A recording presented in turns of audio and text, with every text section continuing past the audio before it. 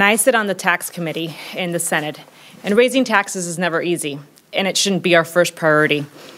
We're not here to defend taxes, we're here to defend the role of state government and that the Republican budget fails to address and to fund.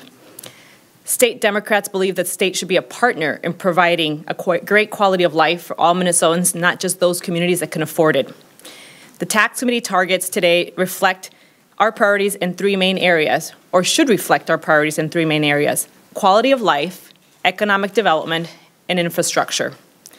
A zero target from the Republican budget reflects that they do not value livability, jobs, nor safety.